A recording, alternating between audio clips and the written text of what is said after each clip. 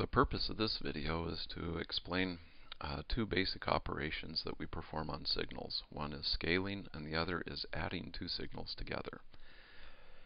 So as you will no doubt recall, a signal from the, from the perspective of signals and systems is just a function and typically we describe it as a function of time.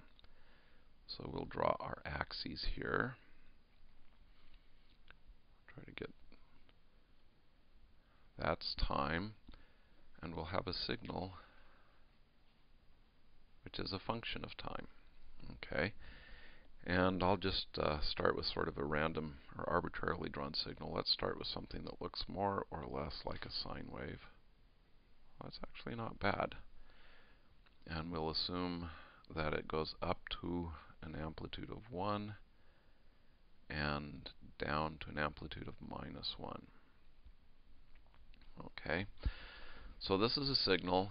Uh, if we wanted to write this mathematically, this one might be x of t is sine of t, which means that this point here is pi, and this point here is 2 pi. Okay, so we have a signal. And uh, quite often, in fact, um, more often than you probably will want by the time we're done, we're going to do something like this. We're going to take the signal x of t and we're going to say another signal y of t is some constant, say 2 in this case, times x of t. So in this case, we are scaling x of t by a factor of 2. So this would be the scale factor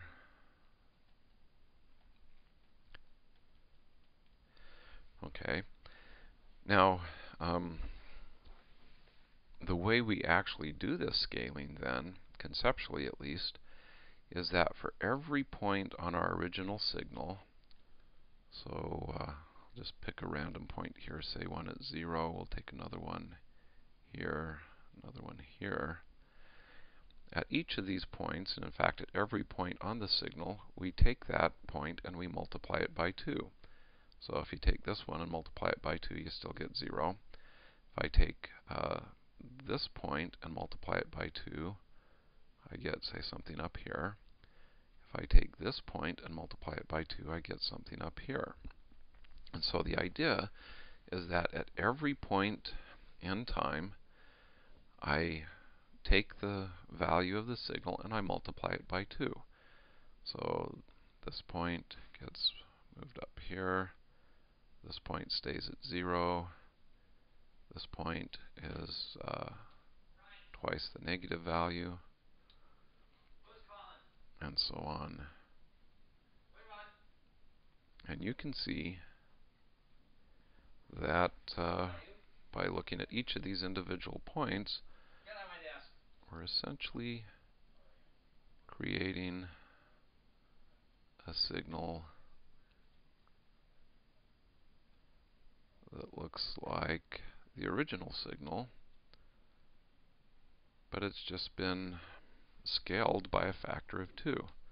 So now this value out here is 2. This value out here is uh, minus 2. I guess I should extend my axes. This is getting kind of messy. But anyway, hopefully you get the point. Now, let's suppose that instead of a scale factor of 2, we did something like this. y of t is equal to 1 half x of t. So this is a scale factor of 1 half. Well, I do exactly the same thing. Uh, this point is going to stay 0. I multiply the value at this point by 1 half, the value at this point by 1 half, and so on. And so I'll actually get something when I'm done that looks like this. Okay. So, um, that's pretty much scaling. The idea is that at every point in time, we multiply the value of the signal at that point in time by the scale factor. You'll notice that a scale factor that's less than 1 shrinks my waveform. That is, it um, takes the original that goes up to 1 and it smashes things down. A scale factor that's greater than 1 takes the signal and expands it on the vertical axis. Okay, so that's scaling. Okay, we'll get rid of this mess.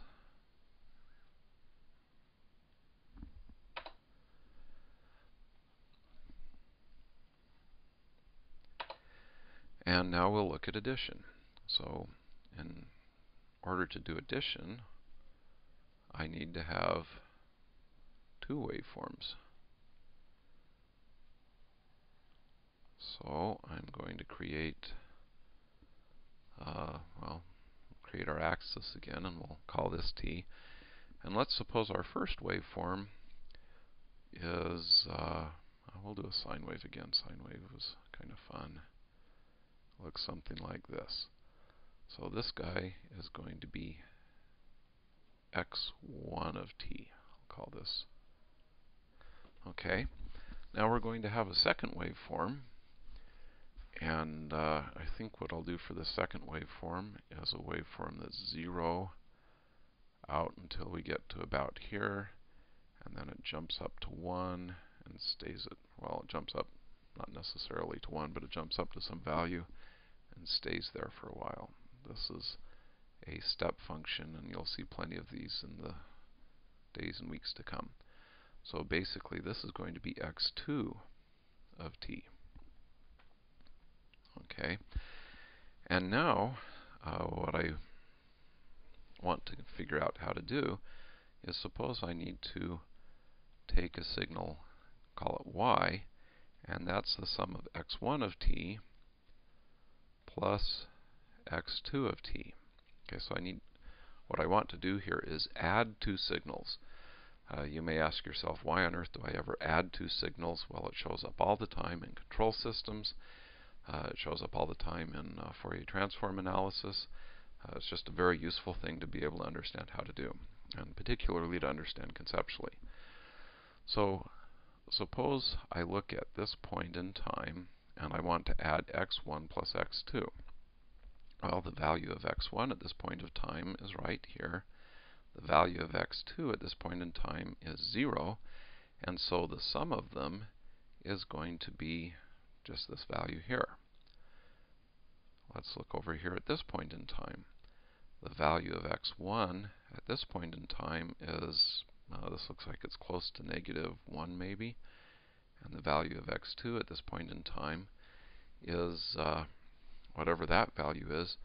So the sum of the two is going to be, say, right about here. I have a negative value, I add a positive value, I get something like this. And if we look at another point in time, we have this value for x1, this value for x2. Uh, again, if we add them, we get something that looks like this. If we go over here, at this point in time, we've got this value for x1, this value for x2, and so this value up here becomes the value of the sum.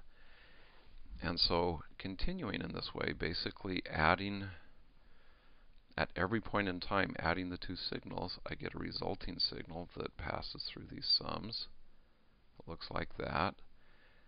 And uh, over in this region, uh, x2 is 0, so when I add 0 to x1, I just get the original signal.